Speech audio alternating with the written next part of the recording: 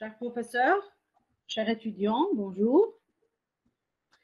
Au mois de juin, nous continuons avec les discussions en mathématiques franco-marocaines organisées par le laboratoire de recherche analyse numérique et analyse non linéaire, l'ARDESA, de la faculté des sciences de Tétouan, Université Abdelmelk Sadi et le laboratoire analyse, géométrie et application, l'AGA de l'Université Sorbonne Paris-Nord en coordination avec le professeur Benoît La conférence d'aujourd'hui est la onzième dans cette série de conférences.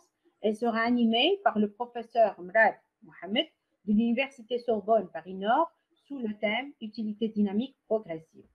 Je rappelle que toutes les conférences de discussion mathématiques franco-marocaines sont enregistrées et mises à la disposition des intéressés à la chaîne YouTube L'Art de UAE.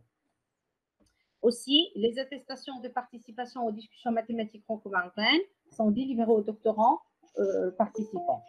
Avant de présenter la biographie de notre cher conférencier, je passe la parole au professeur Benoît Rito pour dire un, mot autour de cette conférence. À vous la parole, Benoît. Merci, Harij. Alors, moi aussi, euh, tout comme Mohamed, euh, je ne suis que maître de conférence. Et donc, L'honnêteté commande de, le signaler en effet. Donc bienvenue, bienvenue à Mohamed, merci d'être là, merci à tous de nous avoir rejoints. comme, comme à chaque fois, vous pouvez, vous pouvez poser des questions sur le chat qui sont euh, du, Google Meet, ou bien pour ceux qui suivent le, live Facebook, vous pouvez le, poser vos questions par écrit là-bas. Mais si vous préférez, à la fin de l'exposé, vous pourrez poser vos questions oralement aussi. Euh, et je dois euh, par avance m'excuser auprès de, auprès de vous tous et notamment auprès du conférencier, puisque moi, à 6 heures juste, je devrais, malheureusement m'absenter, donc je ne pourrais pas assister à la fin et, faire moi-même la, séance de questions.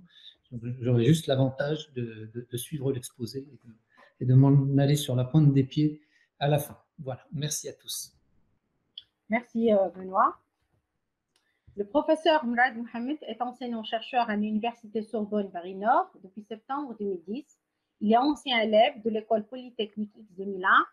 Il a effectué sa thèse de doctorat à l'école polytechnique au Centre de mathématiques appliquées sous la direction du professeur Nicole El Les thèmes de recherche du professeur Mrad sont articulés autour des utilités dynamiques et les méthodes numériques. À titre d'information, Consistent Progressive Dynamic Utility, Forward Utility, les EDP stochastiques du type RGB, les crises financières, gestion des risques et les équations différentielles stochastiques rétrogrades. Le professeur Mrad est auteur de plusieurs publications dans des revues indexées internationales et aussi il a animé plusieurs conférences aux États-Unis, à Canada, à l'Angleterre, aux Pays-Bas, à l'Italie, à la France et à la Tunisie. Et aujourd'hui, il est avec nous au Maroc. Bienvenue, cher professeur, et à vous la parole. Merci beaucoup pour cette présentation. Je ne m'attendais pas du tout à ça. Merci, merci euh, de m'avoir invité. Je suis ravi de présenter aujourd'hui euh, euh, un article sur, en fait, c'est mon premier article sur les utilités dynamiques. C'était l'article de ma thèse, encadré par Nicole El et donc dans lequel je vais je m'intéresser à ce qu'on appelle, en fait, c'est un problème vieux comme la finance, c'est l'optimisation de portefeuille.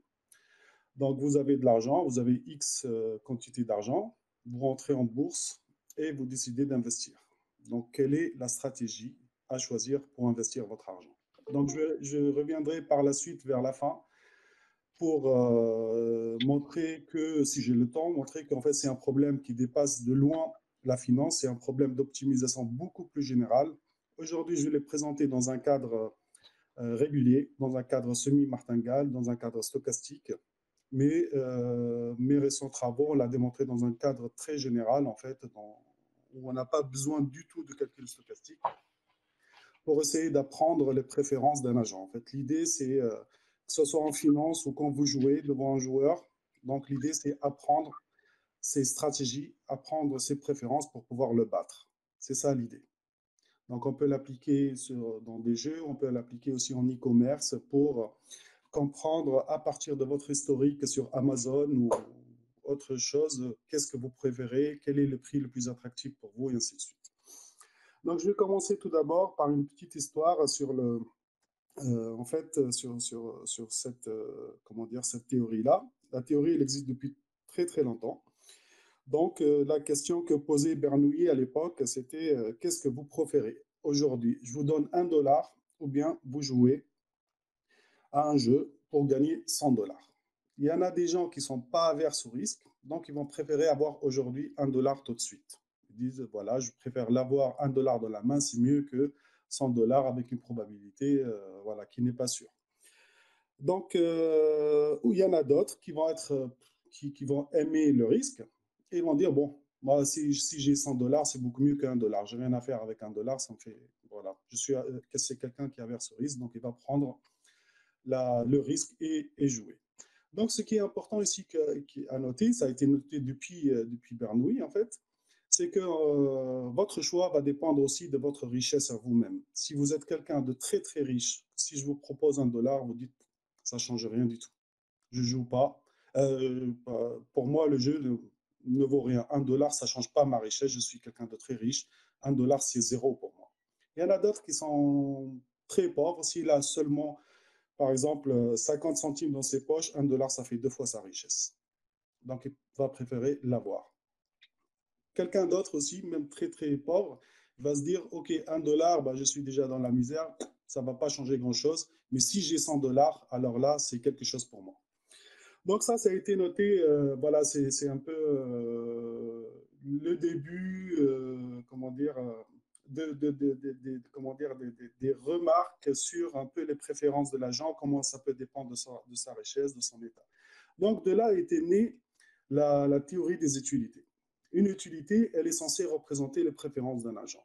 Donc il y a une préférence et on est censé donner un nombre à chaque bien qu'on peut avoir. Ce nombre-là, c'est U. Donc il y a le cas le plus simple, c'est les utilités, ce qu'on appelle logarithmique. D'accord? Ça, c'est un cas très très simple des utilités. Il y en a bien sûr d'autres, mais de manière générale, une utilité, d'après la, théorie de Morgenstein en 38. Donc, lui, euh, il a défini une utilité pour que les préférences d'un agent aient une représentation numérique. Donc, il faut bien sûr certaines conditions, mais il faut qu'elles satisfont, satisfont, certaines conditions. C'est déjà, la fonction, elle doit être concave. D'accord? Elle doit être monotone.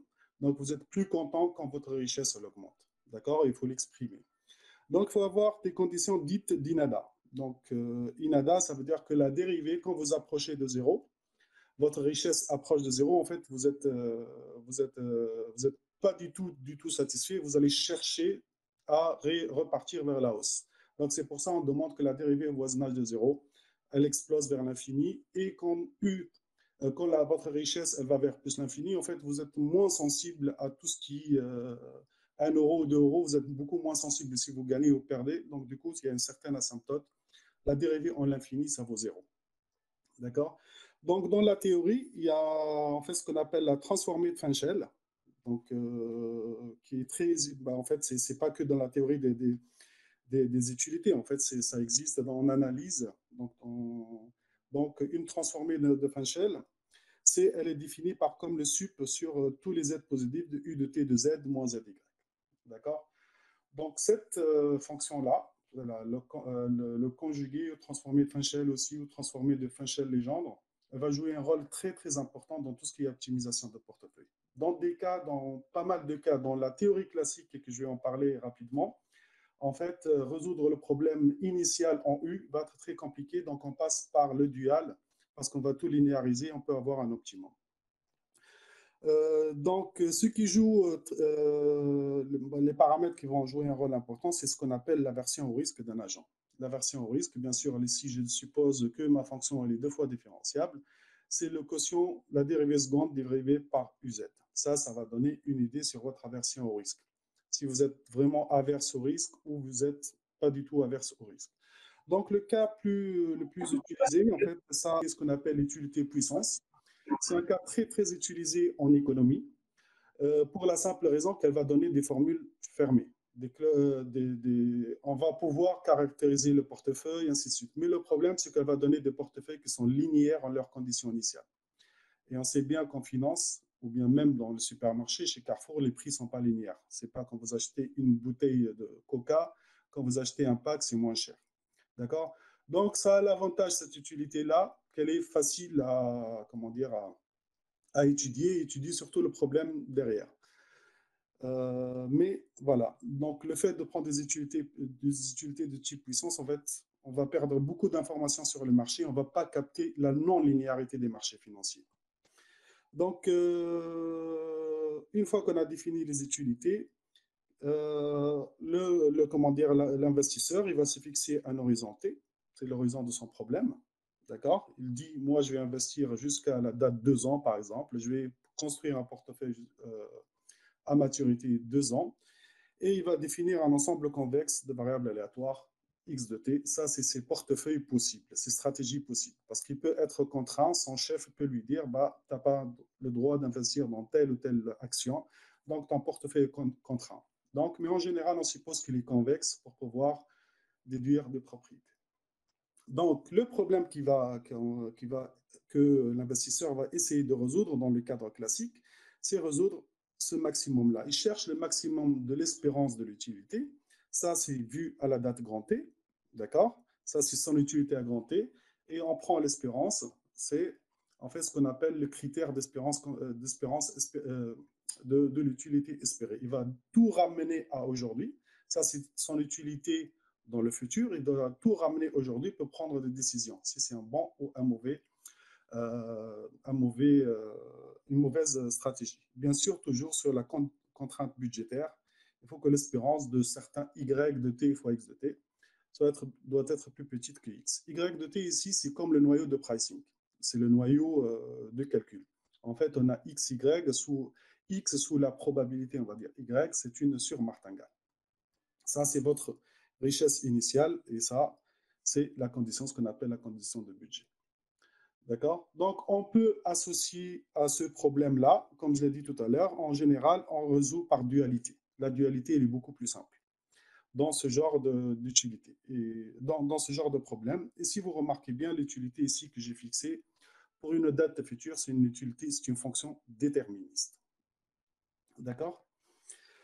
Donc, euh, ce qu'on peut montrer, bah, non, c'est pas ce qu'on peut montrer. On, peut observer, par exemple, si je regarde ce genre de problème, je peux définir à la date R, vu de la date R, mon problème d'optimisation. Si je suis à la date R, j'aurai bah, là, le problème que j'ai écrit ici, c'est un problème écrit à la date 0, d'accord Mais je peux regarder sa version dynamique et regarder à des dates futures, d'accord Donc, j'aurai V de T, euh, voilà, c'est l'essentiel sup, sachant l'information que vous avez aujourd'hui, FR. Ça, c'est l'information disponible aujourd'hui.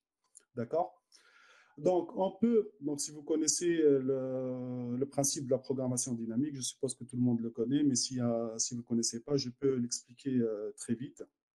Donc, vous pouvez voir ce problème d'optimisation à la base, au départ, d'une utilité à la date T. En fait, la programmation dynamique, vous pouvez l'écrire à des dates intermédiaires T plus H.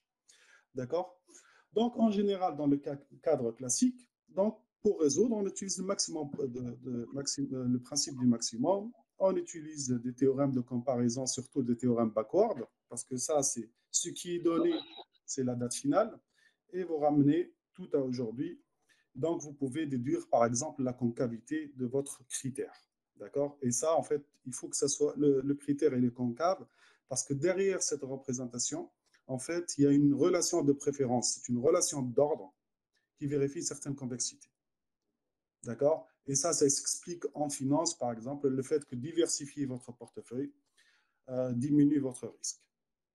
D'accord? Donc ça, c'est à peu près la théorie classique avec U donné. Donc, si on vient maintenant à la réalité des marchés, à la réalité de ce qui se passe vraiment dans, dans, euh, la vraie vie, et ça, c'est en fait, comment dire, euh, pardon, donc, cette théorie-là d'utilité, elle existe depuis, euh, depuis très très longtemps, au moins depuis 38, 1938. Ça fait presque un siècle qu'elle existe. D'accord?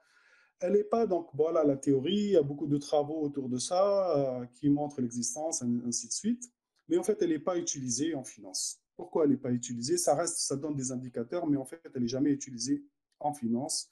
Et c'est en 2000, euh, en, 2000 que euh, euh, Zarefopolo et Musella, Musella c'est un analyste financier très très connu, et en fait qui a eu, bon, voilà, il voulait utiliser cette théorie, mais s'est rendu compte qu'en fait cette théorie elle est obsolète, on ne peut pas l'appliquer à la finance. et ceci pour plusieurs raisons. La première question la plus importante, c'est la première. Donc, quand un investisseur dit, moi, je vais regarder mon problème d'optimisation dans deux ans ou trois ans, d'accord, il fixe son utilité. Quand on dit qu'il fixe son utilité, en fait, il a fixé ses préférences. La question est alors, comment aujourd'hui, moi, je suis capable de fixer mes préférences dans deux ans? Si, par exemple, il y a une crise financière qui se passe entre-temps, euh, les marchés, les, on vit dans un environnement très dynamique. Donc, on n'a aucune idée sur nos préférences dans deux ans, trois ans ou quatre ans, voire des problèmes à maturité beaucoup plus grandes.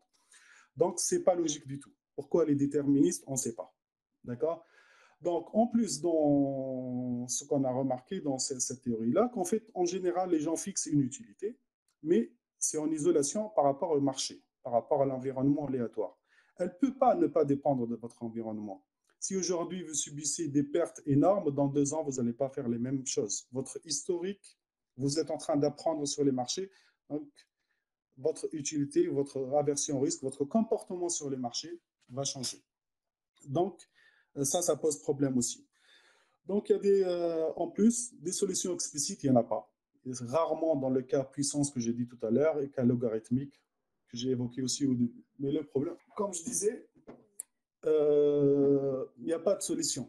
On a un problème backward. En général, on dit qu'il existe une solution. On peut montrer que on peut avoir une solution du problème. Ça, ça a été surtout démontré par Kramkov et Karazas il y a beaucoup de monde qui ont, travaillé sur, ces problèmes-là, mais on a juste des versions abstraites. Il existe, mais on ne sait pas caractériser.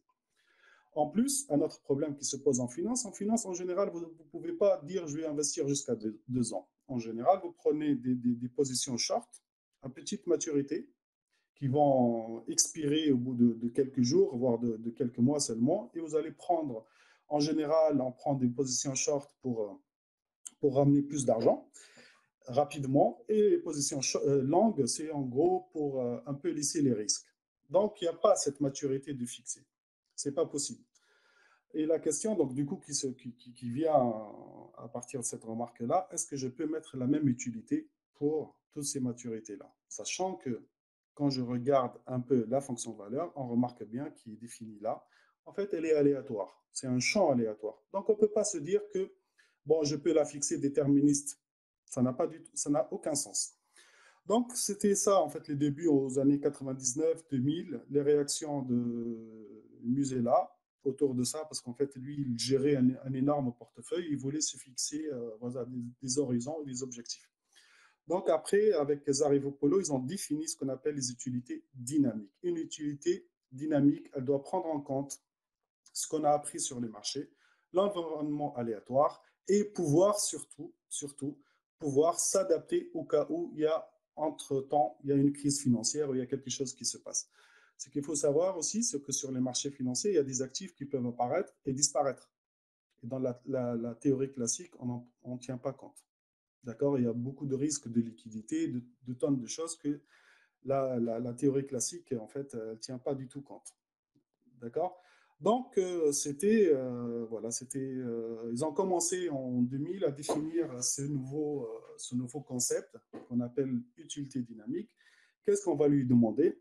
On va lui demander de respecter la condition d'INADA, que j'ai évoquée tout à l'heure. Quand vous approchez vers zéro, donc vous avez tendance à vous précipiter pour essayer de repartir, de s'éloigner de zéro.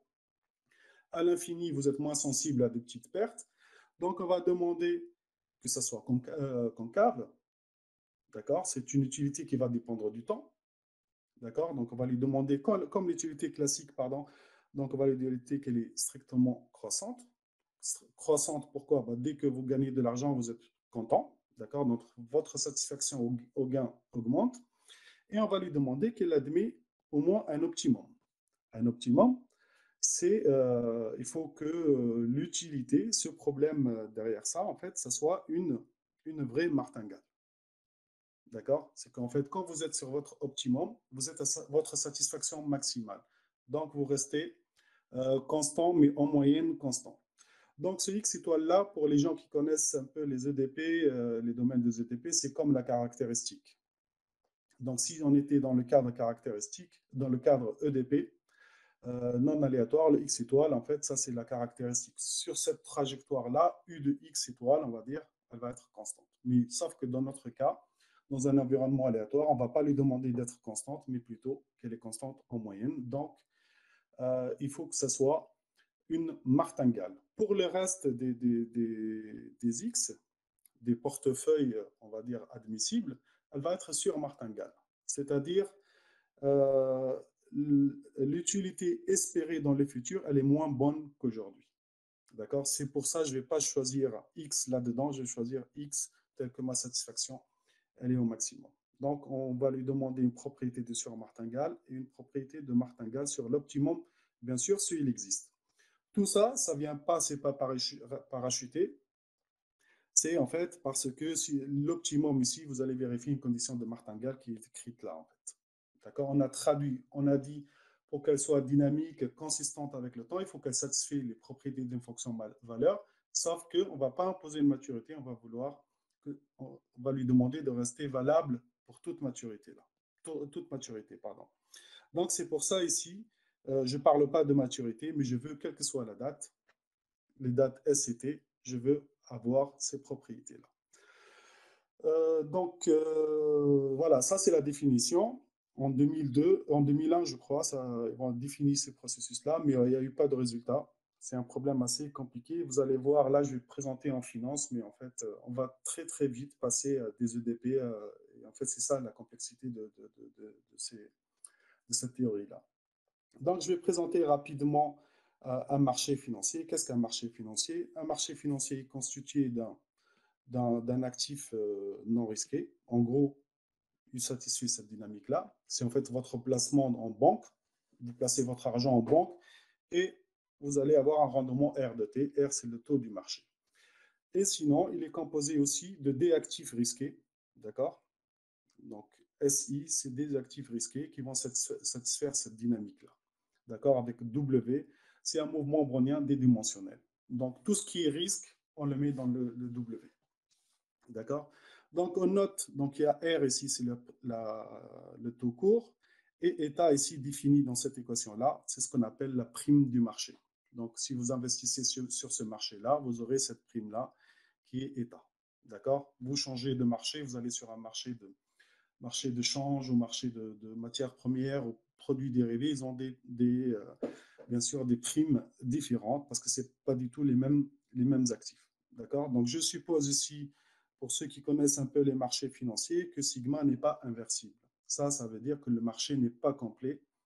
Et donc, du coup, quand le marché n'est pas complet, il n'y a pas de probabilité risque neutre, comme il est toujours, ben, en fait, en finance aujourd'hui, tout se price par une probabilité risque neutre alors qu'elle n'existe plus. D'accord? Et c'est depuis même avant la crise de 2008. Donc ça, c'est à peu près le modèle, mais on va vite euh, l'oublier. Je vais juste écrire, rappeler que dans ce cas, si vous avez euh, une, stratégie financière. Petit x, c'est votre richesse initiale. Pi, on va dire, c'est votre stratégie que vous allez choisir. Vous allez dire, je vais investir 15% dans le premier actif, 25% dans tel actif. Je vais emprunter l'argent à la banque, et ainsi de suite. Donc, par absence d'arbitrage, votre richesse, votre portefeuille, au cours du temps, il va satisfaire cette dynamique-là. D'accord? Des questions? Et je vais supposer, comme je l'ai dit, dit, tout à l'heure, que euh, votre stratégie puis, qui est là, en fait, elle est, elle, est, elle est contrainte. Et donc, je vais appeler R sigma, c'est l'espace de mes contraintes. D'accord? Là, je l'ai présenté de la manière la plus simple. J'ai dit R sigma, c'est l'image de, de RD par la, matrice sigma. Mais en fait, on peut le faire euh, beaucoup plus général.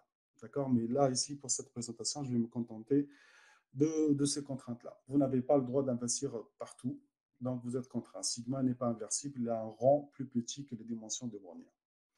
D'accord? Euh, un autre processus, une classe de processus qui va jouer un rôle très important, c'est le Y que j'ai évoqué tout, à l'heure. On dit que Y, c'est un prix d'état. Si Y fois X pi, quel que soit pi, la stratégie qui est là-dedans, d'accord? Ici, j'ai appelé kappa sigma fois pi. Hein. j'ai changé sigma pi ici par tout simplement kappa. C'est pour simplifier la présentation et ne pas avoir à l'écrire à chaque fois. Donc, pour tout euh, X et pi, je demande que ce soit une sur-martingale ou une locale martingale, une martingale locale. D'accord? En gros, Y vont jouer le rôle de, des probabilités sous laquelle je peux presser, donner des prix. Si le marché était complet, il n'y en a qu'un seul Y, c'est la probabilité risque neutre. Dans un marché incomplet, il n'y en a pas qu'une seule. Chacun peut presser sur euh, des probabilités différentes. Et c'est ça qui fait les bidasques sur les marchés financiers parce qu'on ne price pas avec la même, avec la même probabilité. Donc, euh, si vous écrivez cette propriété de martingale, vous appliquez Ito, vous allez voir tout de suite qui va s'écrire sous cette forme-là. Les Y sont solutions de cette dynamique. Vous avez le taux court, vous récupérez. Ça, c'est un coefficient de vol qui, lui, va vivre dans l'orthogonal, l'ensemble orthogonal aux stratégies. D'accord? J'ai kappa dans R sigma, dans l'espace de contrainte. Lui, il va vivre dans le dual, dans le cône dual. D'accord? Donc, c'est en fait, ils sont orthogonaux. Dans, en, analyse orthogonale, ça fait produit scalaire égal à 0. En, calcul stochastique, orthogonal, ça veut dire qu'ils sont martingales locales. D'accord? C'est-à-dire en moyenne, euh, ils sont constants. Donc, ça, c'est à peu près les, choses dont j'ai besoin. Donc, ensuite, donc, on va regarder un peu ce que ça donne. Donc, euh, le problème, c'est, voilà, donc je prends une utilité, je dis que mon utilité, je veux qu'elle soit un champ aléatoire. Donc, c'est un champ aléatoire, donc c'est une fonction qui va dépendre du temps, de z et de oméga. D'accord? C'est un champ aléatoire. Tout est stochastique là-dedans, il n'y a rien de déterministe. D'accord? Je ne prends pas des bêta ou des u déterministes. Donc, euh, il y a plusieurs questions. Donc, on pose, nous, on s'est dit, voilà, on va regarder ce genre de choses. On connaît le calcul stochastique, on va essayer de comprendre quelle est, euh, trouver des utilités qui satisfont mes propriétés que j'ai dit tout à l'heure. Je veux que U de T, X de T, pi, quelle que soit ma stratégie, soit, soit sur martingale, et sinon martingale pour un certain X et j'espère qu'il existe. Je vais tout faire pour l'identifier et montrer qu'il existe. Sauf que quand vous écrivez ce genre d'équation, donc c'est plus comme le cadre classique de, DS. Quand vous écrivez ça, ça c'est vrai, quel que soit oméga, appartenant à votre grand oméga privé d'un négligeable qui va dépendre de z. Avec probabilité de nz, ça c'est un négligeable, ça vaut 0. Le, premier problème qui se pose ici, c'est le fait, donc ça c'est vrai à z fixé, donc si moi je veux regarder ce genre de choses, x c'est une variable aléatoire pour prendre euh, plusieurs valeurs possibles, donc, est-ce que je peux, est-ce que cette écriture-là, cette dynamique, déjà a un sens? Avant de commencer à faire des calculs, est-ce que tout ça, ça a un sens? Pour que ça ait un sens, il faut qu'en gros, la réunion des négligeables reste négligeable. Pour dire que c'est vrai, je peux remplacer petit z, quelque chose de, euh, fixe, par quelque chose d'aléatoire, qui peut prendre plusieurs valeurs possibles. Donc là, pour les probabilistes, ça, c'est l'un des plus, euh, des problèmes les plus difficiles en proba, c'est les questions de négligeables. D'accord? Donc, qu'est-ce que moi je veux? Je dis, voilà, je vais regarder ce genre de choses. Mais ma question, la première question, c'est quoi bêta? C'est quoi gamma? D'accord? Sous quelles hypothèses ce champ aléatoire-là? N'oubliez pas, je veux qu'il soit monotone, concave et euh, satisfait des conditions, certaines conditions. D'accord? Qui sont assez, assez complexes. Donc, quelle hypothèse je dois mettre sur bêta et gamma déjà pour que j'ai un champ monotone, concave, et ainsi de suite? Et en plus, on veut plus, nous, on veut des conditions d'INADA et ainsi de suite. D'accord?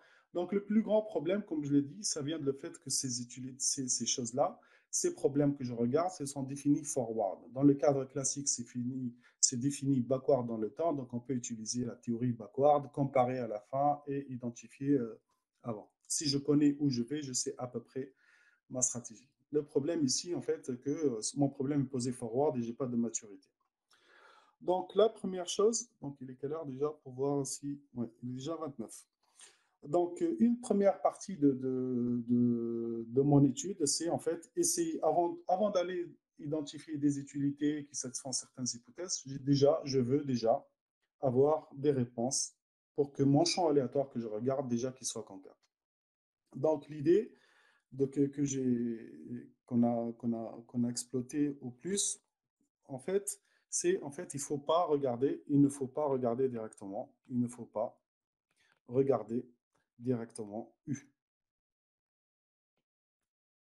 Il faut regarder plutôt il faut regarder, il faut regarder sa dérivée. Regardez sa dérivée si elle existe, UZ. C'est la dérivée par rapport à Z. Pourquoi? Parce qu'identifier un champ concave, c'est très compliqué. Mais si j'utilise les, comment dire, la théorie des équations différentielles stochastiques, euh, je sais si je montre, si je mets des, conditions, si je mets des conditions de telle sorte que euh, UZ est monotone, monotone décroissant, ça je peux le faire, euh, j'ai les bonnes hypothèses dans, dans, la théorie des équations différentielles, j'intègre et j'obtiens, j'intègre et j'obtiens, ça me donne un truc concave. D'accord? C'est ça l'idée. C'est l'idée principale. Euh, ces, équations ont été étudiées, mais il n'y a pas eu de solution avant. Nous, notre idée, c'est ne pas regarder directement le champ, je regarde sa dérivée. Donc, si je regarde sa dérivée, je peux, grosso modo, dire ici, revenir ici. Encore, quand j'ai dit je m'intéresse à ça, si c'est différenciable, ça c'est une question. Je suppose pour l'instant que j'ai différenciable, j'ai la dynamique qui va s'écrire sous la forme bêta z, tz, dt, plus gamma z, tz, dWdt. Donc, si je veux que ce, champ-là soit monotone, mon idée, c'est simple. On prend duz de t de z pour revenir à la théorie des équations différentielles. Je dis que ça, je peux l'écrire bz t de u euh, utile de moins utile y de t de uz. tz dt plus la même chose, gamma z t de moins utile y de t de uz. Donc, je transforme mon écriture. Avec moins utile d'y là, ça c'est la transformée de Fanchel, c'est tout simplement uz-1. Si je l'écris sous cette forme-là et j'appelle ça mu, donc ça, ça va s'écrire comme un mu de t de uz dt plus sigma de t uz dwt. C'est ainsi qu'on a fait une première connexion avec les EDS. Donc, en gros, j'applique, euh, donc je vais peut-être aller plus vite sur cette partie-là qui est un peu technique. Donc, en gros, je vais utiliser la théorie des EDS pour trouver des, euh, des hypothèses, d'accord, à partir de, la théorie des EDS pour que mon champ aléatoire, il est bien défini, il est monotone, je trouve un UZ monotone, et euh, avec bien sûr des propriétés de comportement au voisinage de l'infini et au voisinage de zéro pour satisfaire les conditions d'INADA, et ainsi de suite.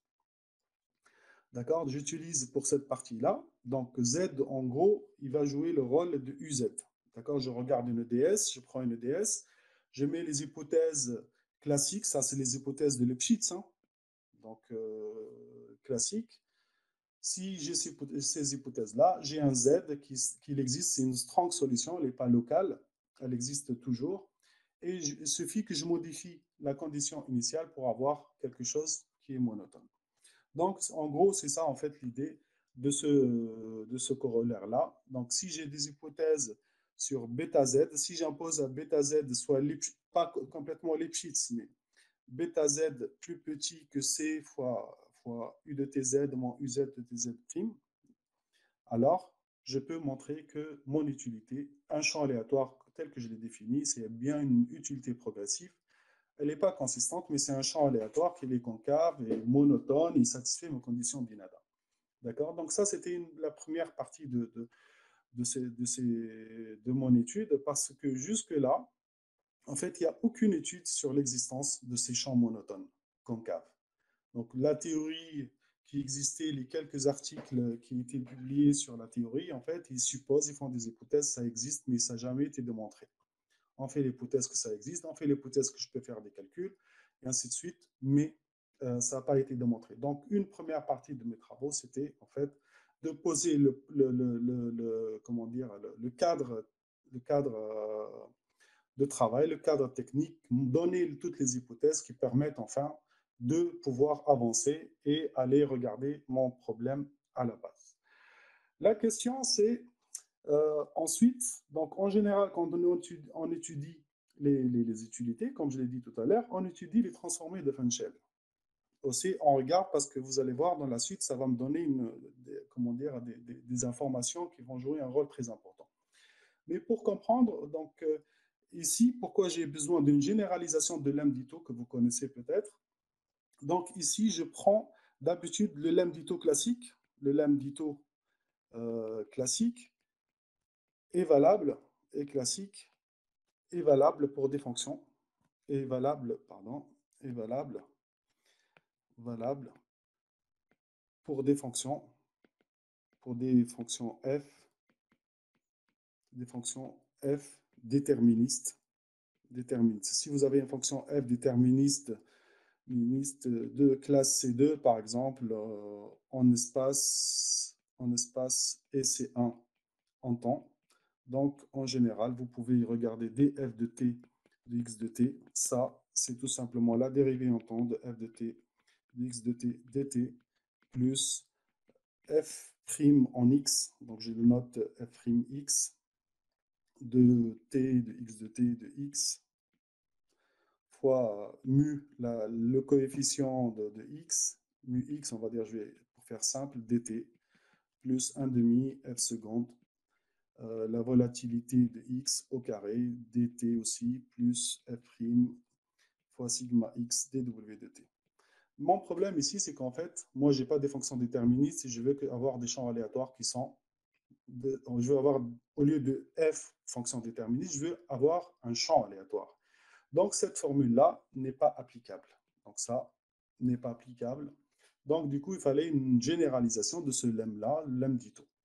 La généralisation, elle est donnée dans ce théorème-là, qui est, euh, voilà, si vous avez un champ aléatoire qui est de classe C2, dans les locales caractéristiques bêta-gamma, bêta c'est le drift en gros, gamma c'est la volatilité, et je suppose que euh, sa dérivée fz est un ito random field, c'est-à-dire c'est une semi-martingale, ce qui n'est pas toujours le cas, et je vais revenir, euh, qui, je suppose aussi, ça c'est une hypothèse, que si je dérive mon champ qui est là, le champ uz, je, vais l'écrire ici, en général, quand vous avez une fonction, comme je l'ai écrite, du de t et de z est égal, comme je l'ai fait, bêta t z dt plus sigma au gamma de t euh, z dw de t, même si, même f, même u, même u dérivable en z, dérivable en z, en z, ça ne vous donne pas que uz est une semi-martingale. Ça, c'est faux. Ça, c'est faux. Ça n'a pas de sens. Ça ne vous donne pas non plus, même si elle est différenciable, même si c'est une semi-martingale, ça ne veut pas dire que uz de t de z, c'est tout simplement la dérivée de, des coefficients. Ça aussi, encore une fois, c'est faux. Ça, c'est encore faux. Donc, c'est vrai sous certaines hypothèses. D'accord? Et ça, je reviens aux hypothèses que j'ai évoquées tout à l'heure. C'est question de négligeable, d'avoir des, bonnes versions et ainsi de suite. Donc, en fait, dans ce que j'ai présenté, il y a beaucoup de subtilités. Pour l'instant, j'ai fait, je dis, bon, euh, je vais mener l'intuition, je suppose que tout est bien fait. Qu'est-ce que ça va me donner? D'accord?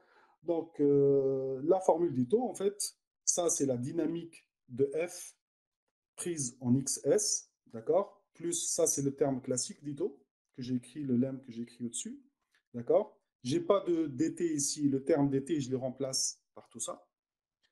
J'ai fz la dérivée fois d, en fait, ça remplace euh, ça plus ça, d'accord? Plus la dérivée seconde, c'est le même qui, est là, la dérivée seconde, mais j'ai j'ai un terme correctif qui en fait qui correspond à la covariation entre la dérivée de f et x, puisque f lui-même c'est un champ aléatoire, il a ses propres, ses, propres euh, aléas, qui n'est pas forcément l'aléa qui vient de x, donc du coup il faut enlever ce terme correcteur, parce que du coup il est compté deux fois. Donc euh, ça c'était pour les notes. Donc J'utilise ce, lemme-là, en fait, comme je l'ai dit, pour deux raisons. Je veux regarder l'utilité, la transformée de Fenchel. Moi, j'ai eu, je veux regarder sa transformée de Fenchel.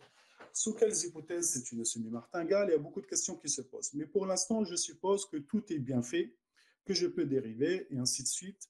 Donc, ce que je vais faire, je vais identifier la dynamique de la transformée de Fenchel. Étant donné la dynamique de U, bêta et gamma, en fait, je vais identifier la dynamique de, U. Et ce, je ne vais pas passer directement par U. En fait, je vais passer par le fait, je sais que UZ de T appliqué à moins utile d'Y, Donc ça, c'est la, la, caractéristique de la transformée de Fenchel. C'est que la dérivée de la transformée de Fenchel, c'est l'inverse de uz. Et je vais appliquer Itomazel et dire que ça, c'est égal à 0. Si je suppose que U tilde, qui est là, c'est un, une semi-martingale, avec bêta chapeau, gamma chapeau, je vais l'identifier en écrivant que la partie en dt égale à 0, la partie en dw égale à 0 en utilisant ce lemme-là, cette formule-là. Donc tout ce qui est en w, je vais le mettre égal à 0. Tout ce, tout ce qui est en dt, ici par exemple, et là, je vais mettre égal à 0. Je vais pouvoir facilement, sans problème, identifier la dynamique de, de la transformée de Fengel. Donc je peux mettre des hypothèses pour avoir la convexité, parce que la transformée de Fengel d'une concave, c'est un convexe. Voilà, donc je peux mener mes calculs. Jusque-là, si je fais des hypothèses euh, assez fortes. Mais moi, pour la suite, donc ce qui, c'est que, en fait, euh, là, j'ai supposé que, que U tilde Y dans ce résultat-là, j'ai supposé que U tilde Y, c'est une semi-martingale. Et j'ai supposé que UZ est dérivable et que, que U est dérivable et que la dynamique de U, il a les caractéristiques bêta Z, gamma Z. Ça, c'est faux. Ça aussi, c'est faux en général. Donc maintenant, je vais regarder quand est-ce que ça, ça, a un sens et euh, quand est-ce que ça, c'est vrai. Sous quelles euh, conditions mes hypothèses sont vraies. Donc deux questions. Donc sous, quelles hypothèses vous avez une EDS, elle est régulière. Sous quelle hypothèse je peux dériver une EDS et écrire la dynamique de, la dérivée. Et surtout, sous, quelle hypothèse vous avez euh, un, un, flow, donc une solution d'une le flow il peut être dx de t par rapport à sa condition initiale, c'est un mu de t, x de t de x, dt, plus sigma de t, xt de x, Donc, si vous avez les pchits sur les coefficients, vous allez devoir dire que x euh, existe bien, est une solution forte, admet une solution forte, ainsi de suite. Vous pouvez dire pas mal de choses. Vous pouvez dire aussi la question, est-ce que je peux dire qu'il est dérivable? Ça, je ne sais pas pour l'instant. Et encore un point très important, en fait, euh, l'inverse d'un champ aléatoire, même si ce x est là monotone, inversible en x, monotone en x, si je note que si c'est son inverse, x moins 1, bah en fait, l'inverse, ce n'est pas, ce n'est pas, ce n'est pas une semi-martingale, c'est faux. Je ne peux pas écrire que dx, c'est un mu, euh, mu x, machin, et ainsi de suite. Je n'ai pas le droit d'écrire sa dynamique. Et ça, je me rappelle très bien au début, euh, voilà, moi, je, quand j'ai commencé à faire ça, Nicole, à l'époque, elle me disait, écoute, en 69, il y a Hiroshi Kunita qui est venu à l'école de Saint-Flour, il a montré que c'est faux, on n'a pas le droit. Moi, j'étais convaincu que c'était, on pouvait le faire, mais en fait, c'est vrai, en 69, après trois ou quatre mois de recherche, je suis tombé sur le bon article qui montre que ce qu'on dit, qu'on a, tendance à croire, en fait que l'inverse d'un champ, d'un champ, d'un une semi-martingale, c'est faux. Ce n'est pas vrai, il faut des conditions.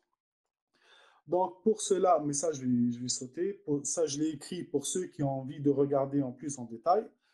Pour ce faire, il y a des, hypothèses. Donc il faut définir des, sous-espaces, euh, des semi-normes en fait de type Sobolev, et définir des tas de, semi-normes, et définir des espaces pour que vous puissiez, euh, voilà, des espaces de régularité. Sous ces espaces-là, si vous avez les bonnes conditions, en fait, vous pouvez euh, montrer que l'inverse d'une semi-martingale est une semi-martingale, que si vous avez des conditions sur les coefficients de régularité, alors la solution va être régulière, et ainsi de suite, ça va avoir des bonnes versions. Mais tout ça, c'est la partie vraiment cruciale de, mon étude, en fait, trouver un cadre où tout marche. Parce qu'avant, ça, ça, en fait, ça n'avait pas de sens, parce qu'on ne sait pas sous quelles hypothèses ça marchait. Donc, c'était la partie la plus, la plus fastidieuse de, ce travail. Donc, je l'ai mise pour ceux qui sont intéressés. Après, récupérer les slides, regarder un peu. Donc euh, voilà, ça c'est un théorème. Si je suis dans des bonnes classes, mais ça c'est pas grave si vous comprenez pas tout de suite euh, sur ces espaces euh, de Cunita, si vous êtes dans sous espace là, alors vous pouvez dire que votre solution de cette équation là, elle est de classe M, elle est M fois dérivable, que 1 sur la dérivée de la fonction C reste une semi-martingale, que l'inverse flow est une semi-martingale. Et ce qui est important en fait, ce que je vais réutiliser beaucoup dans la suite, c'est cette équation là j'ai établi la dynamique forward, qui dans le temps, ce n'est pas la dynamique backward comme il a écrit euh, Kunita. Kunita, il donne la dynamique backward du flow inverse, moi, je donne la dynamique forward parce que mon problème, il est forward, il n'est pas backward. Donc, je sais comment, si j'ai une EDS monotone, je sais écrire son, e son, son flow inverse.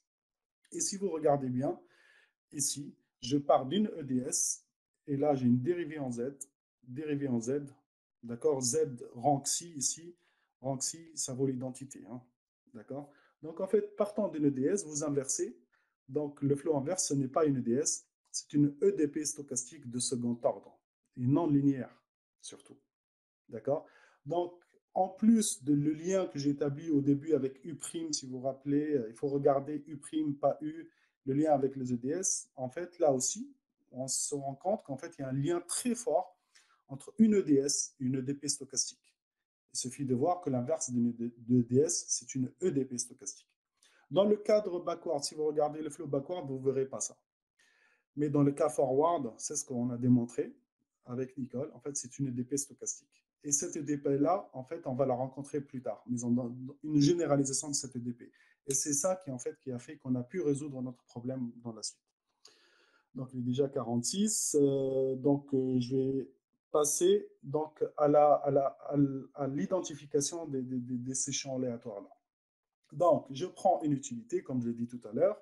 Mon utilité est la bêta et gamma comme, comme, euh, comme caractéristiques, drift et vol. Et je veux, je reviens à mon problème, je veux que ça, ça soit une sur-martingale. En gros, je veux que cette quantité qui est là soit négative. Sur martingale, ça veut dire le drift, tout simplement, elle est négative.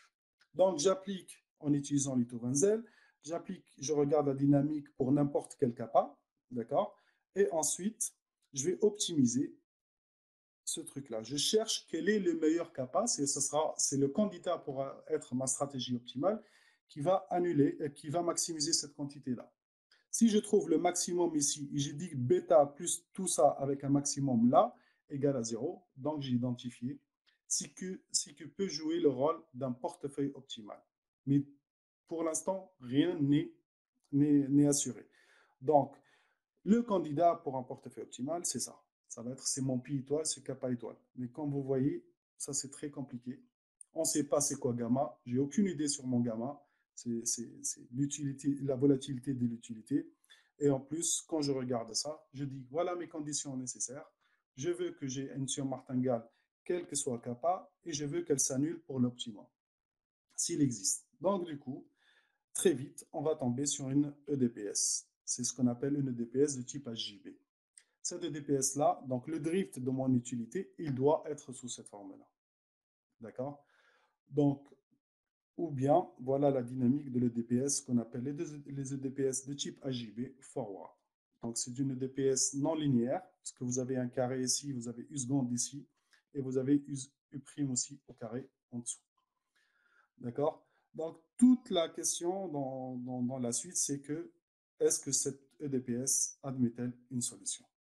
D'accord? Pour, pour finir mon étude, je dois montrer que cette EDPS admet une solution sachant que avec ce, soi-disant candidat pour être optimum, je ne sais rien sur UZ divisé par UZZ, je ne sais rien sur sigma divisé par UZZ, donc je ne suis pas sûr d'avoir des conditions de Lipschitz sur cette condition, sur cette stratégie optimale. Si j'avais des conditions de Lipschitz, alors je peux dire que mon portefeuille optimal, il existe bel et bien. Mais sauf que c'est faux. J'ai juste des conditions locales, donc la solution, elle n'existe pas toujours. Et si elle va exister, elle va exister jusqu'à un temps, euh, temps d'explosion que j'appellerai taux infini. Donc, le problème qui se pose ici, c'est que cette utilité-là, si je n'approfondis pas mon étude, en fait, elle n'a pas de portefeuille optimal tout simplement. Donc, elle ne sert à rien. Donc, ce que je vais montrer, c'est le lemme suivant, mais qui est vraiment, c'est la clé de, de, toute la suite, comme je vous ai dit. D'accord? Moi, je vais résoudre cette EDP stochastique. D'accord? Mais sauf que c'est une EDPS non linéaire, de second ordre. J'ai un, candidat pour jouer le portefeuille optimal, sauf que il n'existe pas de manière forte, il peut exploser. Donc, jusque-là, il y a encore des problèmes. Je suis encore dans la vérification. Donc, après ce que je vais montrer, je suppose que s'il existe, en fait, ce que je vais démontrer, je vais démontrer que U' de x étoile, comme je vous ai dit, ce qui va jouer un rôle, ce n'est pas U de x étoile, qui est martingale, mais c'est l'utilité marginale prise en x étoile. En fait, ce que je devais démontrer, que ce truc-là, c'est un prix d'état. Un prix d'état, je vous rappelle que, quelle que soit la stratégie kappa admissible, vous aurez ce uz de t de xt étoile fois xt kappa, ça c'est une martingale locale. Vous allez me dire, qu'est-ce que ça m'apporte? Ça va m'apporter beaucoup parce que je vais regarder tout de suite. Comme j'ai remarqué que c'est une martingale locale, c'est un prix d'état, donc je dois regarder le problème euh, dual. Je regarde le problème dual, je vais, je vais faire vite.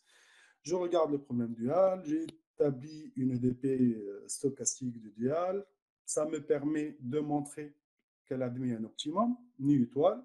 Et en fait, euh, je démontre qu'il y a un prix d'état optimal, mais ce prix d'état optimal qui, va satisfaire cette dynamique-là, si vous regardez bien, ce nu étoile qui est là et qui, que je l'ai mise ici, en fait, il va être la même chose qui est là.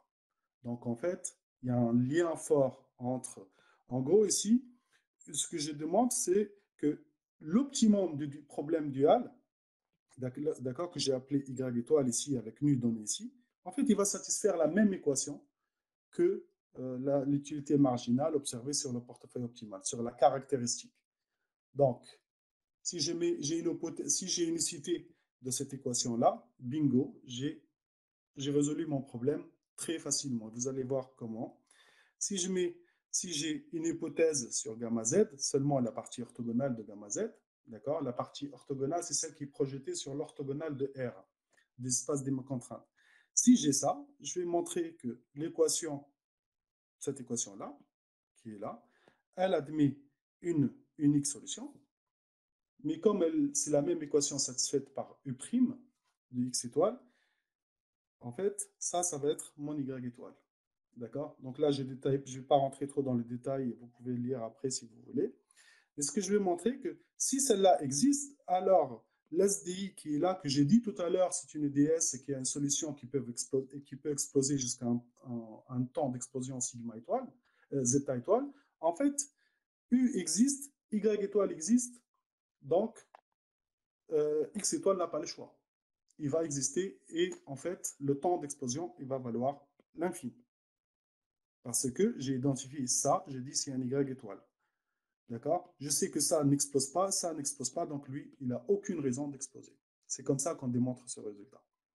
Donc, maintenant, si vous, vous avez unicité, ça c'est Y étoile, imaginez votre X étoile, il est inversible, alors votre UZ, elle est tout simplement, c'est égal Y étoile, appliqué UZ, c'est ma condition initiale, c'est mon utilité à la date 0 que je connais, appliqué au flot inverse. D'accord? Et c'est ainsi qu'on résout le DPS en partie, et en, fait, on caractérise tous ces champs aléatoires. Avec cette observation-là, ça nous permet de tout caractériser. Donc, par la suite, on peut regarder les théorèmes, les, problèmes inverses. Donc, je, crois que c'est... Ouais. Il me reste deux minutes. tu me donnes deux minutes, Harry ou... oui, oui, oui, oui, plus que deux minutes. Vous pouvez. Ok, donc, euh, le, point clé, en fait, c'est que je démontre que, que, ce, que, ce, ce champ aléatoire-là, en fait, c'est le dual de, du problème, euh, c'est le, pardon, c'est l'optimal du problème dual. Et en établissant une connexion avec Y, en fait, je caractérise toutes les utilités dynamiques qui sont bien sûr forcément solutions de l'EDPS. La question maintenant, mais c'est plus une question de DPS, euh, est-ce que je peux construire d'autres solutions de l'EDPS Et sous quelle hypothèse j'ai euh, une unicité de la solution de DPS qui a, qui a l'air très très compliquée. À l'époque, j'avais écrit même à Cunita et pas mal de gens pour avoir une, réponse. On n'a pas eu à l'époque. Mais là, maintenant, on sait faire. Si je prends X étoile égale étoile, deux, prix, deux, deux, processus quelconques, là, j'ai dit prix, d'état et, euh, et portefeuille, c'est juste pour rester dans le cadre de la finance, mais on le fait beaucoup plus général, en fait. En fait, si vous avez, vous prenez deux EDS, qui sont monotones, donc il suffit d'avoir des conditions de Lefschitz, vous pouvez construire une utilité facilement à partir de ça. Vous définissez Y étoile appliqué, vous prenez une condition initiale, une utilité initiale pour avoir la concavité, et ça, ça va être en fait la marginale d'une utilité. Dynamique. Et elle va être forcément, comme je l'ai dit tout à l'heure quand j'ai étudié la dynamique de flow, du flow forward, j'ai dit que c'est une EDPS, l'inverse d'un flow, c'est une EDPS. Vous appliquez taux à, cette quantité-là, avec x ici, c'est x moins 1, d'accord? Et vous allez trouver que vous allez satisfaire votre, équation, le, DPS. Donc, je peux construire d'autres solutions de l'EDPS. Donc, euh, voilà, ça c'est cas simple. On peut résoudre bizarrement, en fait, il y avait une question qui se posait depuis 92. Il y a un très beau papier de Yi Wang en 92 qui a montré que l'inversion risque d'un agent, d'un investisseur, elle est martingale sous la probabilité optimale. Donc nous, en deux coups, on le démontre sans... Voilà, c'est la proposition qui est là. On démontre comment le comportement d'un agent qui est cohérent avec lui-même, comment son aversion au risque doit se propager dans le temps. Donc, je passe. Euh, donc, ça, on va par la suite construire toutes les utilités à partir des flots, des champs aléatoires. Maintenant, je passe à la partie qui, qui le point inverse. Donc, vous donnez je reviens à mon EDPS. Je vais donner un, résultat de l'existence et l'unicité de solution de cette EDPS-là. Je vous rappelle que c'est une EDPS non linéaire, fortement non linéaire, à cause de UZ qui est là, à cause du carré qui est là, parce que vous avez UZ au carré, et ainsi de suite. Donc, si vous réussissez à écrire pas gamma, mais vous le dérivez, vous dérivez votre, votre gamma, votre vol, vous la dérivez par rapport à la condition initiale. Si vous pouvez l'écrire sous cette forme-là. D'accord Vous faites quoi? Vous lui associez deux équations différentielles stochastiques. Donc, je pars de gamma, je le dérive et je regarde si je peux l'écrire sous cette forme-là. Si vous pouvez l'écrire sous cette forme-là, vous allez lui associer deux équations différentielles. La première qui est là et la seconde qui est là. Donc, à une EDPS stochastique, on lui associe deux EDS. Si maintenant vous regardez vos EDS, si vos deux EDS admettent des solutions, qui sont fortes, bien sûr. D'accord Alors, euh, vous caractérisez la solution et en plus, elle va être croissante, monotone, tout ce qu'on veut, mais le plus important, vous avez l'unicité de votre équation, votre DPS stochastique. Donc, euh, je crois que je vais m'arrêter là. Je vais pas trop, euh, voilà j'avoue que c'est un peu, un peu technique. Parfois, on se perd un peu parce que c'est des notions qui ne sont pas très, très euh, connues.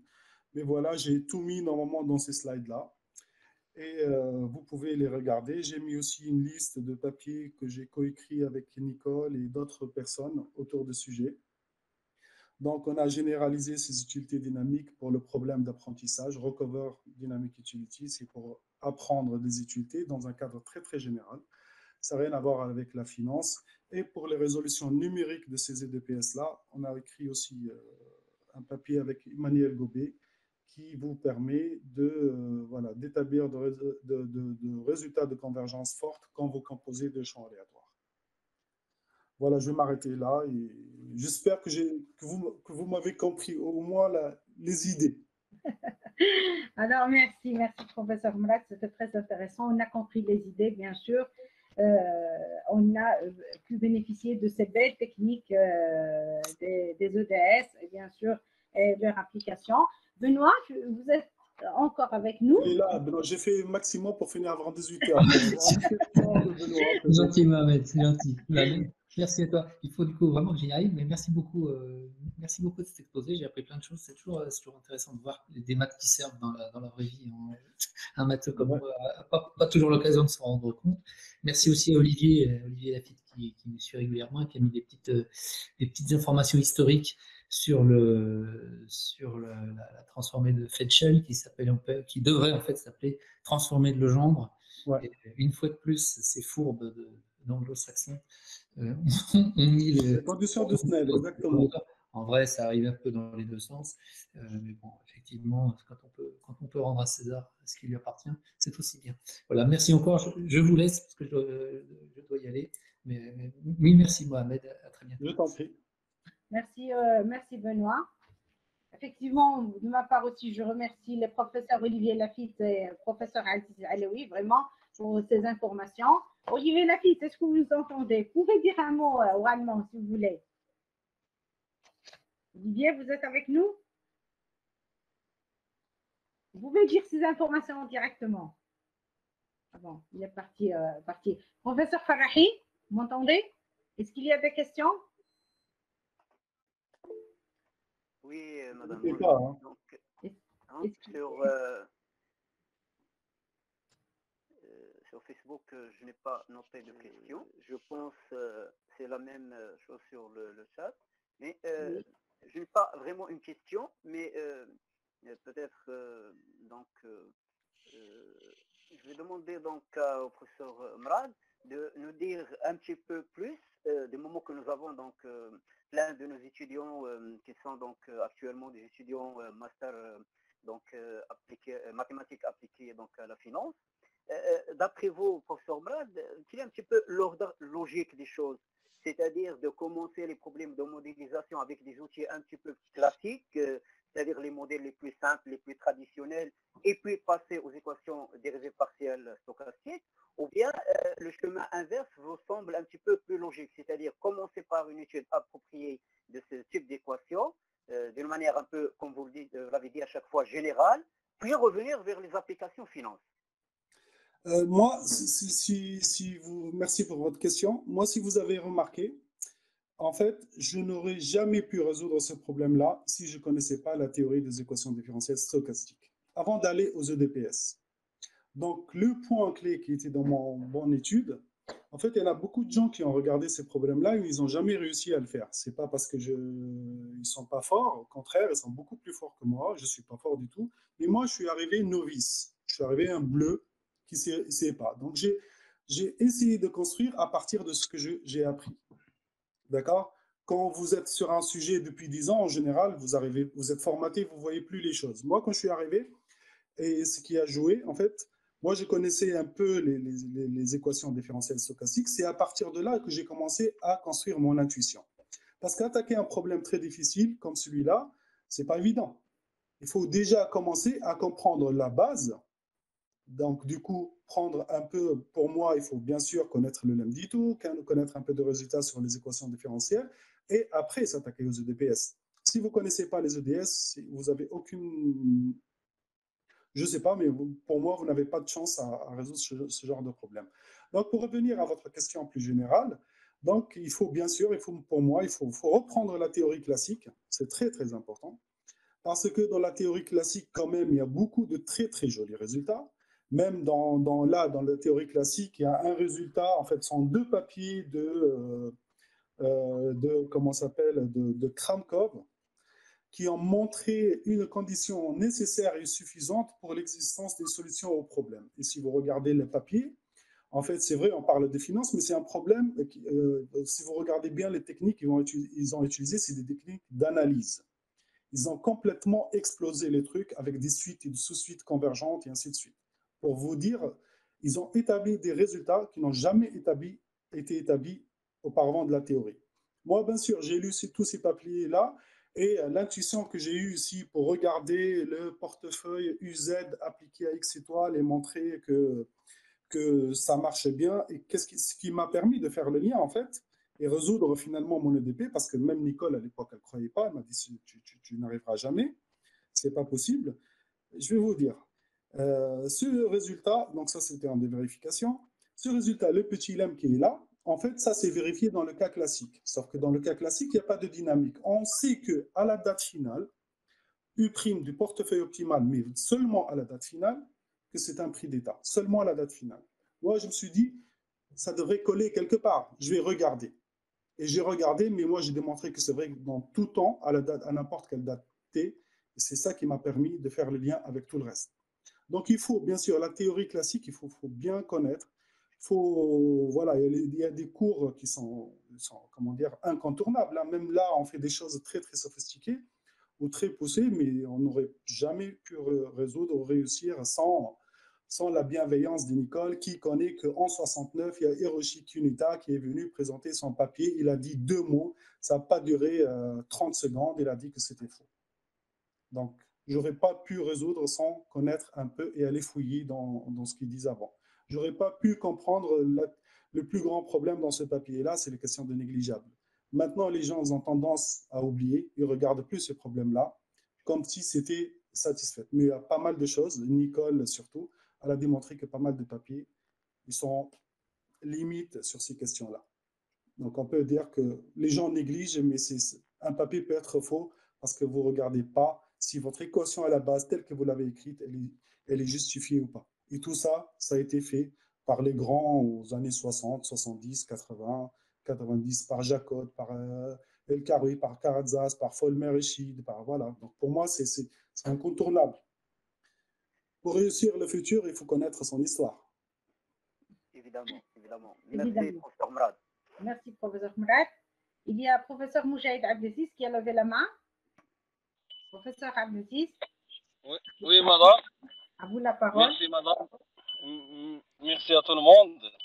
Merci, monsieur Benoît, pour votre exposé qui est riche. Euh, donc, j'ai une petite question concernant une équation. Mohamed. Euh, Mohamed Mrad, c'est le professeur Mohamed Mrad. Benoît. D'accord, c'est Mohamed. Merci bien. Je m'excuse. J'ai une petite question concernant une équation qui contient une stratégie au départ, une équation qui contient une stratégie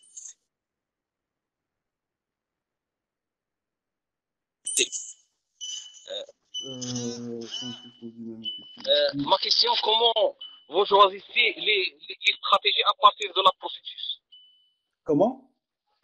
Le processus, à partir du processus stochastique. Non. Comment vous choisissez les, les, stratégies les stratégies à partir de, de le processus stochastique Parce qu'un élément très intéressant pour euh, obtenir un, une bon, un bon résultat.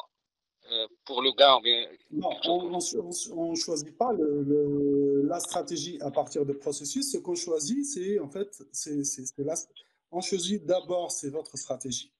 Si vous choisissez cette stratégie, c'est-à-dire aujourd'hui, vous allez acheter telle action, demain, vous vendez, vous achetez autre chose, donc votre portefeuille, il va suivre cette dynamique-là. La, la, comment dire, la, le changement dans, euh, dans votre portefeuille, le changement infinitésimal, il va être décrit par cette équation. Mais on ne se donne pas l'équation et on cherche pi. On se donne pi et on cherche et, on, écrit la stratégie. Après, le problème après, c'est quelle est la meilleure stratégie. Oui.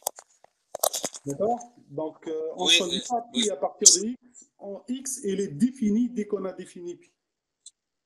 Oui, euh, euh, j'ai bien compris. Donc, vous cherchez la stratégie améliorée ou bien est la stratégie, quelle est la meilleure stratégie qui va me donner une bonne richesse, mais qui soit en adéquation avec mes préférences? Je suis quelqu'un qui n'aime pas trop le risque, donc je ne vais pas prendre des stratégies très risquées pour gagner des millions, des millions, s'il y a des probabilités au risque énorme. Donc je prends la stratégie qui me va à moi. Quand vous achetez une voiture, vous achetez la voiture qui vous va. Merci.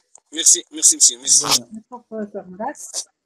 Moi aussi, j'ai quelques petites questions, Mrad. Euh, au, début de, au début de votre exposé, vous avez mentionné la résolution par dualité. Moi, je voudrais bien que nos doctorants sachent qu'est-ce que c'est la résolution par dualité. En fait, la dualité, c'est euh, au lieu de s'attaquer au problème, euh, l'espérance, comme je l'ai dit, l'espérance de utilité de, de x de t, sachant FT, d'accord? On s'intéresse, en fait, ce problème-là, il a un équivalent, d'accord? Il a un équivalent, c'est-à-dire, comme je l'ai écrit, euh, il écrit quelque part, il écrit, euh, non, ça c'est la définition transformée de Pinchel, ça c'est l'équivalent, c'est utile de y de t, sachant ft. Avec ce y de t n'est pas n'importe lequel, c'est en fait le cône dual associé à votre stratégie, à votre ensemble de stratégies, y fois x, ça, ça doit être une martingale locale. En fait, on peut démontrer très vite, facilement, facilement l'équivalence. Vous écrivez que votre u de x de t, sachant ft, ça, vous pouvez l'écrire comme l'espérance. Donc, en fait, c'est un Lagrangien. Donc, j'ai une hypothèse, euh, comment s'appelle? Je l'ai écrite, euh, je crois, au début. L'hypothèse, la contrainte budgétaire. Vous avez un problème sous contrainte. Donc, vous rajoutez un Lagrangien. Donc, vous utilisez le Lagrangien. Et vous dites, au lieu de maximiser, je fais, je fais sans espérance, hein, U de petit x, donc avec x appartient à un cône, on va dire, cône ou un convexe. D'accord Ça, c'est la même chose que regarder un problème, vous faites égal maximum sur x appartenant au cône de u de x moins xy euh, moins la là, je, non, je vais l'écrire en utilité, en espérance, pardon, fois xy. D'accord? Parce que cette condition-là, quand vous la sortez, en fait, elle vous donne 0. Parce que ça, je peux l'écrire comme maximum sur les x, espérance de u de x sachant ft ou sachant f0, on s'en fout. Donc, plus euh, x ou bien moins xy moins l'espérance de xy. D'accord? Et ça, par définition, c'est positif. Donc, vous pouvez montrer ensuite que le y qui est là, le y optimal, ça va être un uz de x étoile. Vous l'injectez et en fait, il y a vraiment la même chose. Parce que l'espérance de ça, en général, si c'est une martingale, l'espérance de ça, c'est zéro. Vous rajoutez à l'intérieur, et sauf quand vous regardez ce problème-là, c'est en fait, vous êtes en train de maximiser sur l'utilité, l'utilité duale, pardon. Hmm. Ça, c'est le, le, comment dire, c'est en utilisant le Lagrangien. Donc, ah oui, pardon, j'ai oublié de mettre un lambda ici. Euh, pardon, c'est un lambda. Donc, euh, ouais. C'est les techniques du Lagrangien classique. Vous avez un problème classique. Vous, au lieu de regarder maximum directement sur, sur euh, U de X, vous regardez U de X moins XY, moins lambda XY par exemple au moins lambda. Euh, D'accord. Attendez, plus, plus, là j'ai fait une petite erreur, je ne mets pas de y ici normalement, c'est u de x moins lambda x. Et vous maximisez. C'est-à-dire que vous simplifiez votre problème euh, d'optimisation. Vous le simplifiez. Voilà, je simplifie le problème d'optimisation. C'est quoi l'intérêt de ça? Dans le cas classique, c'est qu'en fait, euh, c'est beaucoup plus simple. On linéarise et on sait que toute fonction concave, elle est limite par en dessous de, de, de, fonctions affines, en fait. On peut l'écrire comme. Donc, c'est ça l'idée de, faire ça. Oui. Parce que c'est un problème aux contraintes, donc je fais lambda x, x moins la contrainte, normalement, d'appartenance à je ne sais pas quoi. D'accord. Ça, c'est euh, la théorie, euh, théorie classique. Voilà. Voilà. Euh, vous êtes intéressé aussi à la construction d'utilité. Alors, à votre avis, quelle est son utilité mathématiquement, cette construction d'utilité? Donc, dans cette construction-là, comme je l'ai dit au début, moi, c'est un problème de finance à la base. Donc, c'est un problème de finance pour euh, dire euh, aux investisseurs, tenez, c'est votre stratégie, vous êtes cohérent. Le jour où il y a, une, il y a, une, il y a, une, il y a, il y a quelque chose qui se passe sur le marché, il y a un choc euh, sur le marché ou quelque chose comme ça, vous pouvez mettre à jour votre utilité.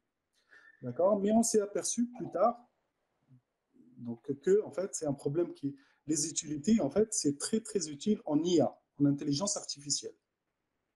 C'est utilisé par, comme je te l'ai dit euh, au début, c'est utilisé par Amazon, par beaucoup, beaucoup de monde, sur des problèmes qui n'ont rien à voir avec la finance. Et donc, on peut, en fait, parce que l'idée, c'est euh, tout simplement e-commerce, Amazon, pourquoi il s'intéresse à ce genre de choses? Parce qu'il a envie de comprendre euh, c'est quoi tes préférences. Parce que s'il sait connaît la préférence d'une personne, il va lui envoyer des publicités bien ciblées, il va lui envoyer des prix qu'il est presque sûr qu'il va acheter, donc il va maximiser ses gains. Donc euh, Amazon, elle a fait un brevet en 2015 ou 2016, mais avec des choses comme ça, mais c'est beaucoup plus simplifié, d'accord? Et qui lui a permis d'augmenter ses gains de 20 ou 30%, je ne sais plus depuis. Donc c'est un problème, c'est un problème, il vient de la finance, mais euh, comme vous voyez, moi, je déborde tout de suite sur des EDPS, sur des techniques de résolution de DP stochastique, de, euh, de, DS, et ainsi de suite. Et après, en regardant, en fouillant un peu, on regarde que l'IA, ils font des intelligences artificielles, ils font des conférences où l'inscription, elle est à 10 000 euros pour s'inscrire à une conférence de l'IA où ils parlent que des utilités et apprendre les préférences d'un agent. Ah, bien sûr, Donc là, on s'est rendu compte qu'en fait, euh, l'utilité, ce n'est pas, pas spécifique à la finance, mais c'est beaucoup plus large. Bien sûr, bien sûr, bien sûr. Une dernière question concernant la notion du marché complet ou non complet. Mathématiquement, comment on peut décrire un marché euh, complet ou non complet? Et en réalité, est-ce qu'il est complet ou non, le marché? Donc, définir un marché complet, en général, c'est que, euh, là, j'ai parlé de marché incomplet. Mais par exemple, mon marché que j'ai écrit ici, si je veux qu'il soit, soit complet, je vais supposer que sigma, qui, qui est là, sigma inversible. Ouais. Inversible, donc sigma R, mon espace de contrainte, euh, je ne sais plus où je l'ai défini, et là, lui, ça va être RD, tout simplement. Donc, vous avez le droit d'investir partout. Du coup, l'orthogonale de ce RD dans RD, c'est quoi l'orthogonale C'est zéro. Mhm. Donc, il existe une unique probabilité. Ça, donc forcément, lui, ça vaut zéro. Et cette probabilité, Y, T, T unique, en fait, c'est la risque neutre. C'est celle-là. C'est exponentielle moins l'intégrale 0T. RS, euh, DS, non. RS moins 1 demi, état S au carré, ds, moins l'intégrale 0t, dwt, état S, dws. Et ça, c'est la, ça, c'est la, la risque neutre. Hmm. Donc là, vous voyez bien, là, dès qu'on en fait, on fait d'hypothèse que j'ai le droit d'investir partout, j'ai plus de contraintes, en fait, l'orthogonal, c'est le cône dual le compte dual, il est, il est, réduit à zéro. Donc, on n'a pas le choix. Il n'y a qu'une seule euh, probabilité possible, qui est la probabilité risque neutre. Donc, maintenant, question, est-ce que euh, la risque neutre, elle existe ou est-ce qu'on est sur un marché complet ou incomplet? La question, elle est simple. On n'est pas sur des marchés complets. On est sur des marchés incomplets. Mm. Et ça, euh, surtout depuis 2007, de la crise financière. Moi, à l'époque, j'ai travaillé sur les taux de marché. Je travaillais pour une boîte euh, qui s'appelait Pricing Partner. Et en fait, euh, en observant les courbes des taux et ainsi de suite, en fait, à partir, depuis, depuis, le, depuis le temps, en fait, il n'y a pas de marché complet. Il n'y en a pas, en fait. Ça n'existe pas. C'est une théorie. Et voilà. Les, gens en finance disent, voilà, dans, les investisseurs, moi, je fais pricing sur la probabilité risque neutre, la probabilité risque historique. Mais sauf que ça n'a pas de sens. Théoriquement, si on regarde bien, ça n'a pas de sens. Il y a plusieurs probabilités. Donc, vous pouvez me dire, mais qu'est-ce qui fait que ça marche? Bah, Tout simplement, quand vous êtes le seul à croire qu'il n'y a pas de marché complet, vous êtes le seul à dire qu'il y a d'autres probabilités, alors que tout le monde achète et vend avec une stratégie, vous ne verrez rien. C'est l'équilibre qui vous impose finalement de faire comme tout le monde. Et après, pour étudier ces questions-là, il faut, faut, être assez technique quand même pour, euh, pour rentrer dans, ces questions-là. Donc, euh, on pense qu'en fait, le marché complet n'existe plus depuis des, années et des années maintenant. Merci, professeur. Donc, vous avez bien répondu euh, euh, aux questions. Donc, je crois qu'il n'y a plus de... Oui, il y a le professeur Najij Beli, notre chef de département, qui a levé la main. À vous la parole, professeur Beli. Active le, micro. Je tiens à féliciter euh, le conférencier Mohamed Mrad pour euh, cette, excellent, euh, cette excellente conférence. Nous, au master, il y a des modules de calcul stochastique, de processus stochastique. On aimerait bien que les étudiants, eux posent des questions dans, ce sens, ou bien les encadrants pose des questions dans ce sens, mais malheureusement, je vois c'est uniquement les gens d'analyse qui s'intéressent à poser des questions. Euh, c'est une remarque, c'est une remarque euh, euh, soi-disant, n'est pas négligeable. c'est une très belle conférence. Est-ce que c'est possible de la motiver par une méthode numérique pour ah mieux Exactement. valoriser euh, ce grand travail? Bien sûr, ça c'était en fait le, là, ce papier-là qui était publié en fait en 2013. Ça c'est mon premier papier sur le sujet, sur les EDP stochastiques.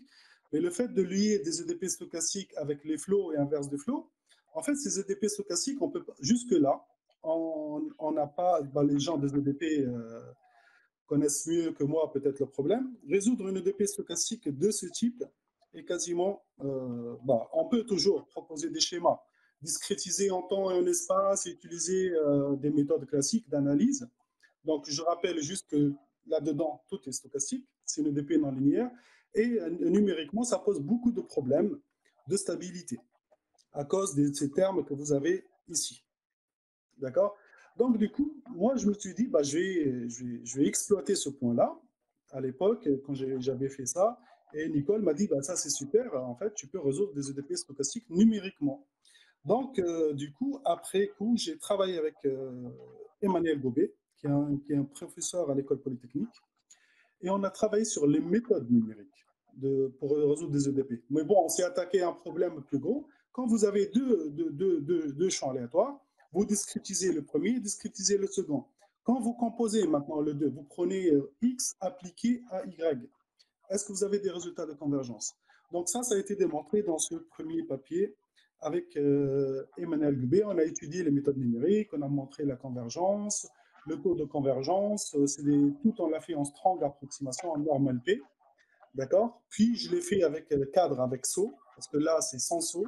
J'ai fait le cadre avec jump, où les deux PS sont sont écrites sur six lignes quand même, c'est rien, plus, rien à voir avec cette DPS. Mais une fois que vous avez compris la méthode, après, euh, on sait qu'on va y arriver, donc on y arrive euh, coûte que coûte. Mais oui, donc les méthodes numériques, j'ai regardé, méthodes numériques. Donc j'ai coécrit deux papiers, je crois, il y en a un troisième avec Emmanuel Gobet. Après, on a fait avec SO aussi, avec euh, le processus de Lévy.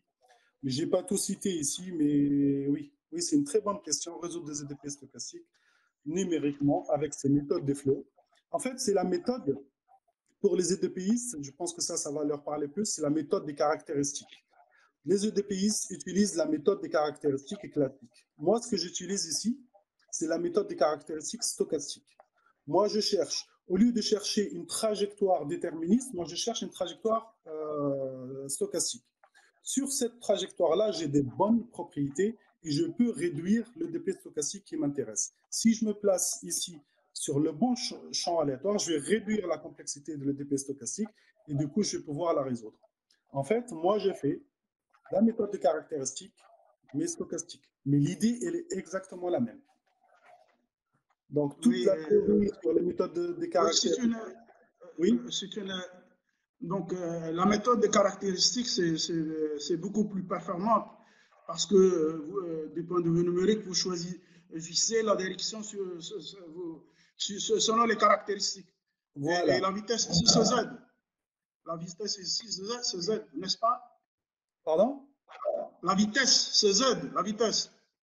La vitesse de convergence, je, si je prends une discrétisation de n, je, je converge en 1 racine carrée de n.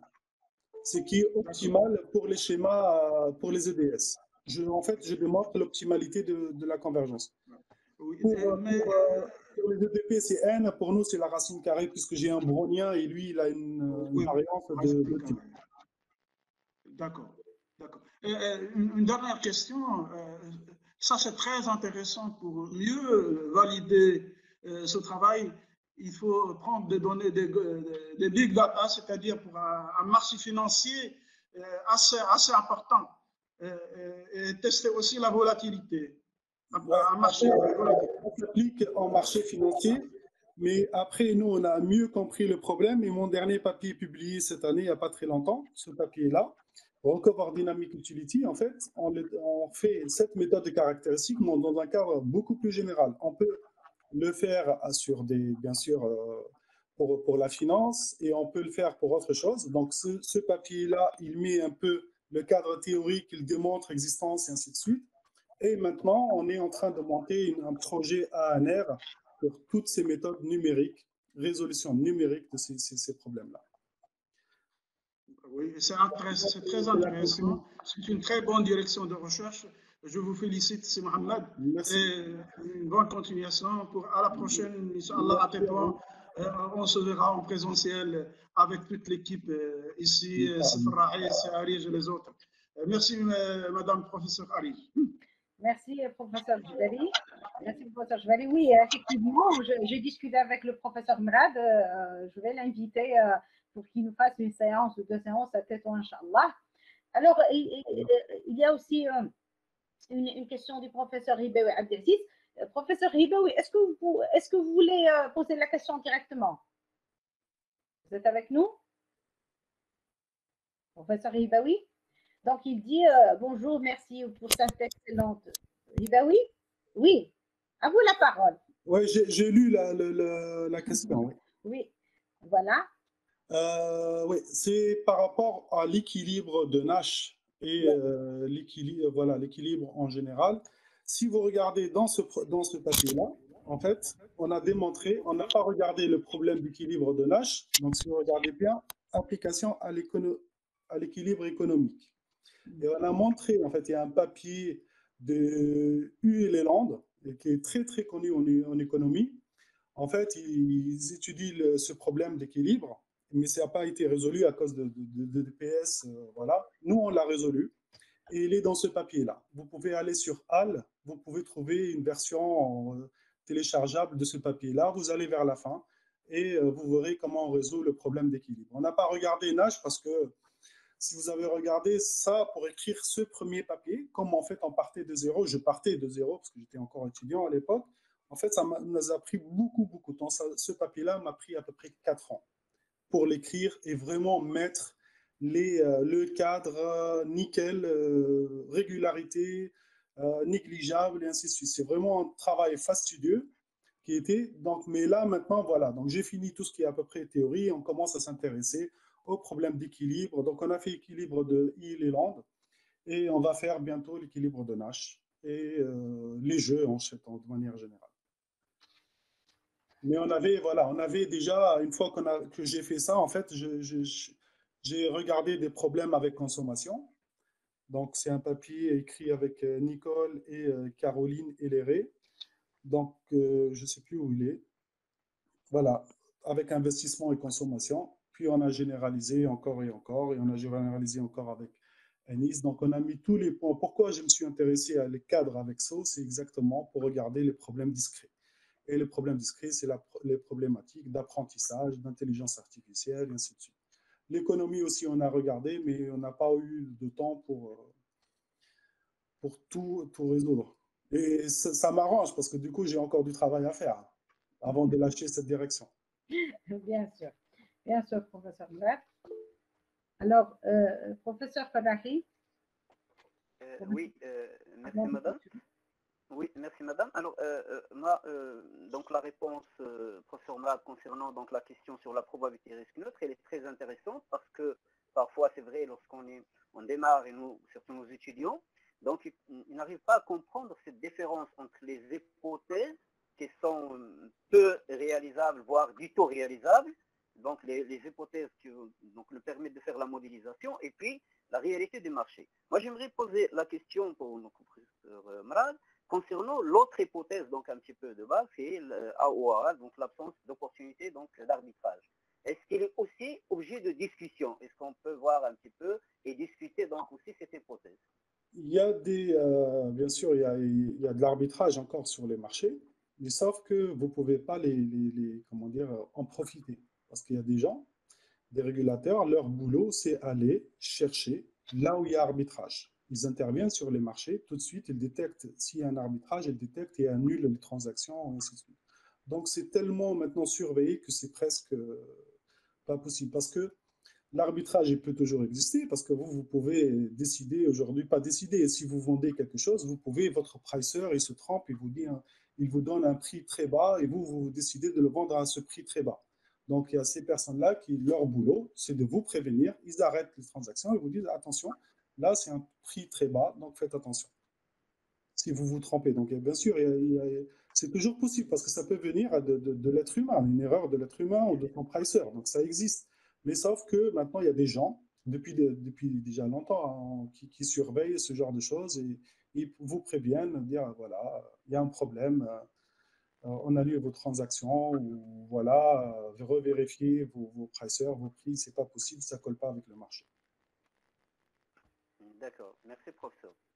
Merci, professeur Falahi. Merci, euh, professeur Murad. Alors, euh, je vais clôturer. Je vous remercie infiniment pour euh, cet exposé qui est très, très intéressant.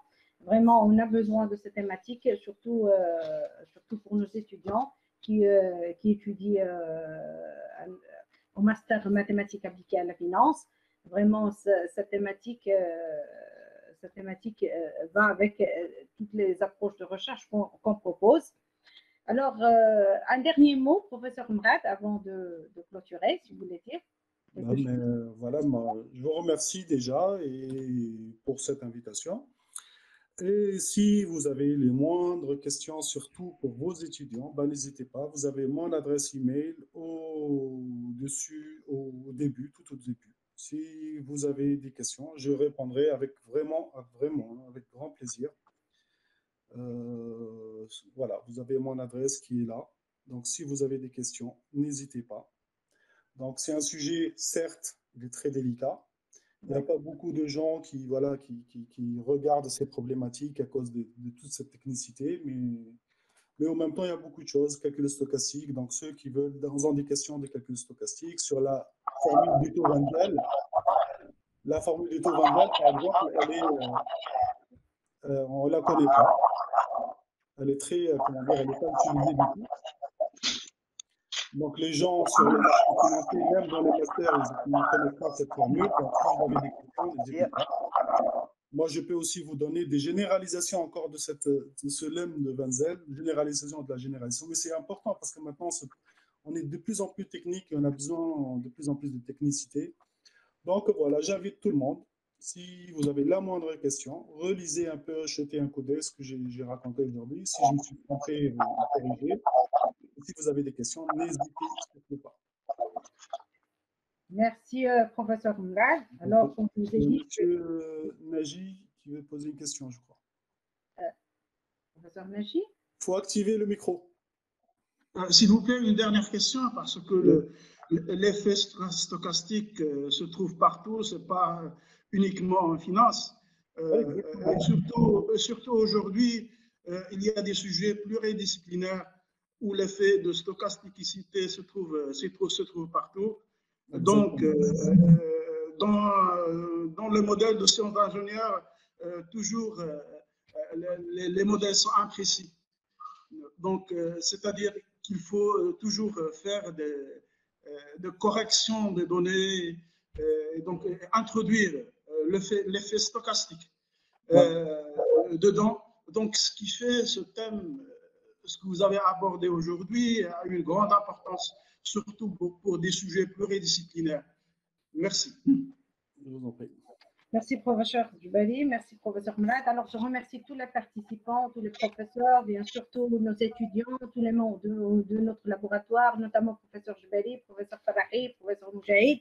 Alors, euh, je, je, je, dis une autre fois au professeur Mrad qu'il euh, viendra, Inch'Allah, euh, à notre faculté à Tétouan. Je l'invite à venir. Alors, je vous donne rendez-vous la semaine prochaine avec le professeur Olivier Lafitte, directeur de l'unité mixte internationale, Centre des recherches mathématiques, Université de Montréal, Canada. Euh, avec la thématique quelques fonctions spéciales pour des applications physiques ABCE, c'est-à-dire ARI, Bessel, cosinus hyperbolique, fonction elliptique de Jacobi. Donc, euh, soyez au rendez-vous mercredi prochain à 16h avec le professeur Olivier Lafitte. Merci à tous. Au revoir. Au revoir. Au revoir. Au revoir.